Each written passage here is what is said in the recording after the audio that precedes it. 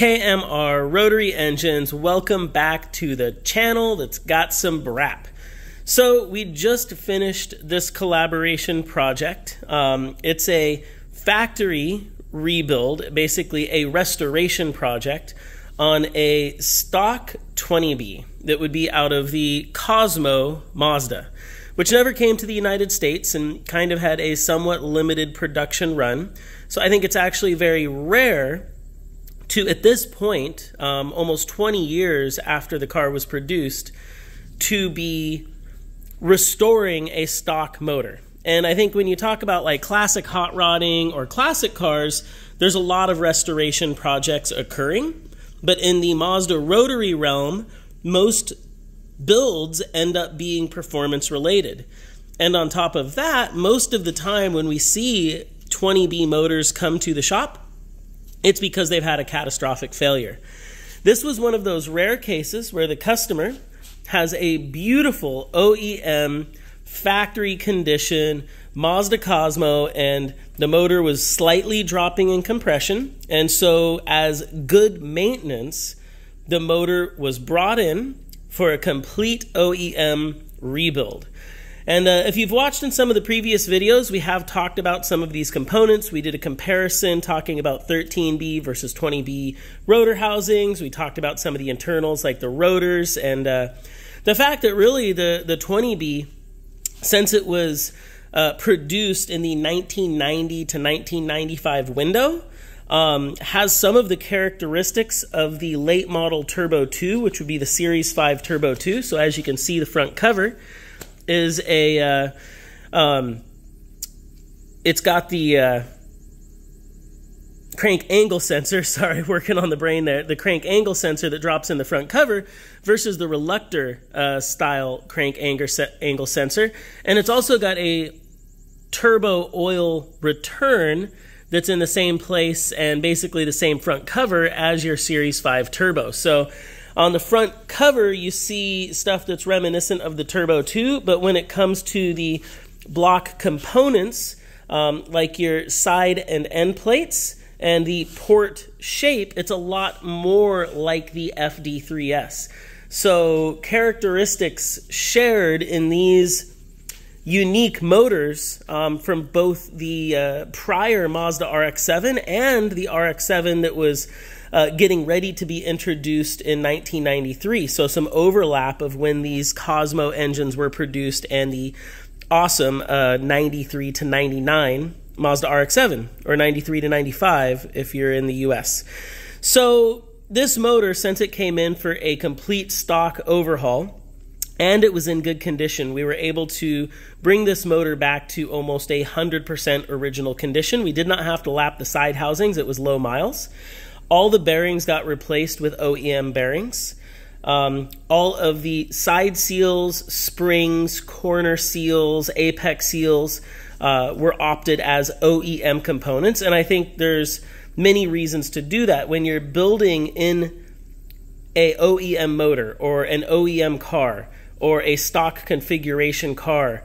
Uh, all of the components that Mazda used, made, produced are fantastic, and they have some of the highest mileage uh, potential of components, especially when you're talking about apex seals. So there was no reason to go to any of the aftermarket seals because the goal here is simply uh, reliability, longevity, and OEM performance. So all OEM, uh, OEM parts, gaskets, water seals, new rotor housings. Um, and again, because the motor was in such good condition, we were able to reuse the internal rotors, uh, shaft, and uh, main gears, stationary gears, and center bearing gear, main carrier gear.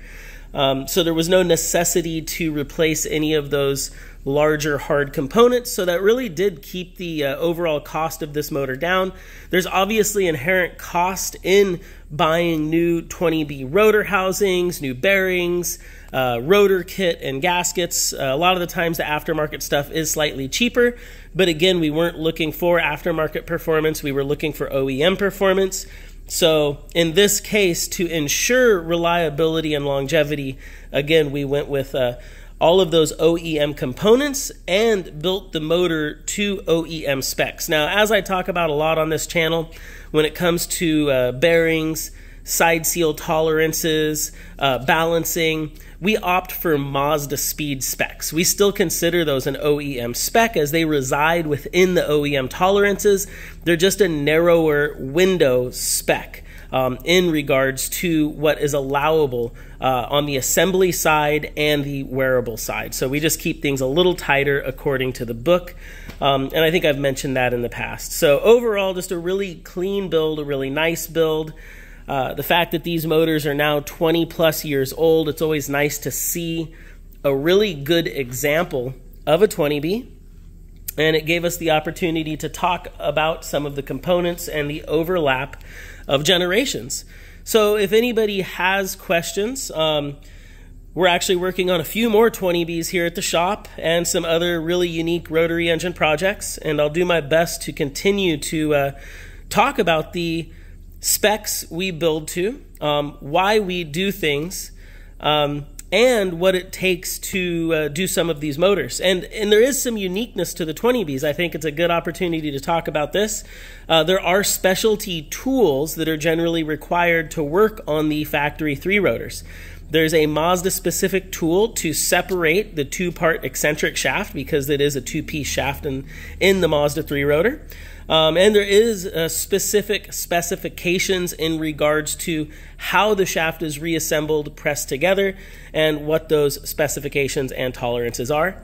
And um, between KMR and Mazdatrix, we've done at this point a lot of three rotors. Um, if you're not familiar with Mazdatrix' history, they actually had a three rotor drag car about 15 years ago. And uh, while I was working for Mazdatrix for about 15 to 18 years, the drag car was one of our racing projects. And so that really gave me the opportunity as an employee as and as an engine builder at Mazdatrix to experiment a lot with racing 20Bs. And then that experimentation was continued uh, with my own projects like the Formula Drift cars. And so at this point, uh, I definitely like to appreciate the uniqueness of the 20Bs and appreciate the fact that I've been able to work on so many and uh, and definitely uh, like working on them. They're not an easy motor to work on. It's not just an additional third of a 13B.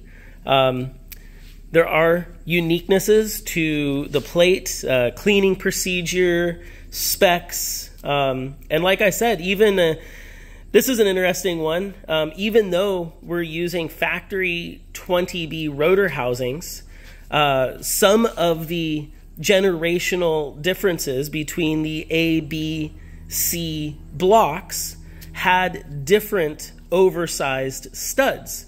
And uh, at this point, there's only one rotor housing offered through Mazda.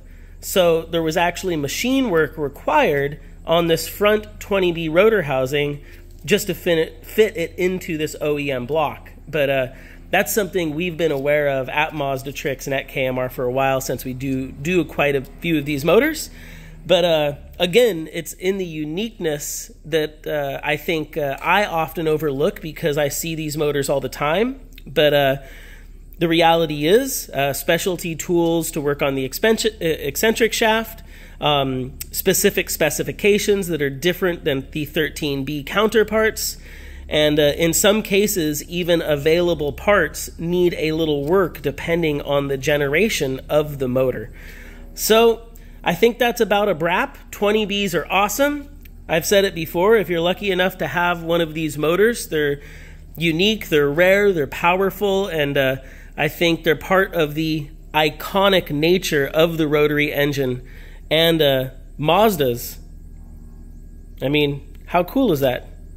Three rotor from the factory. All right, that's a wrap. I got to get back to work. This motor's got to ship out. Its customer is awaiting.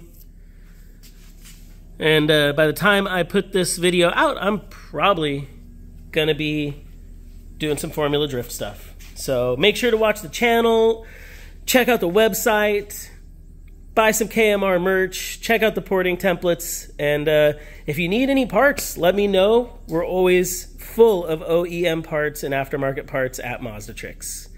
That's a wrap.